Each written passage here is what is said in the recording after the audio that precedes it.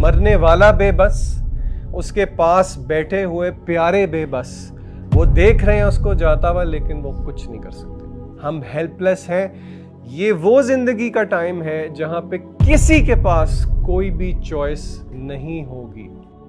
उस टाइम बंदा बहुत सारे रिग्रेट्स करेगा। या लई तनी अल्लाह मुझे मौका दे दे, मैं सदका कर दूँ, मैं नेक बन जाऊँ। अल्लाह का फैसला है, ऐसा नहीं होगा। ये वक्त ज़िंदगी में हर एक को आना है। कुल्लु नफसिन मौत। इससे एक एथिस्ट को भी इनकार नहीं है। उस वक्त पे किसी के पास कोई चॉइस नहीं है।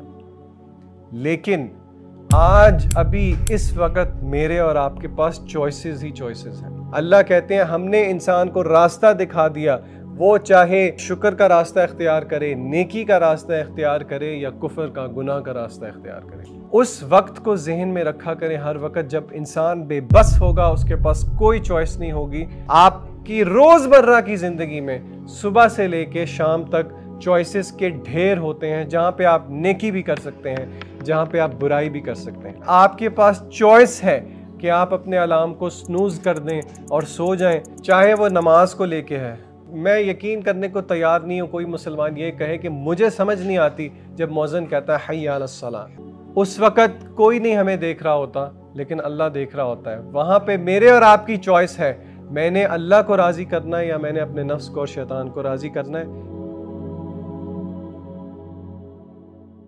कुल्लु नफ्सिन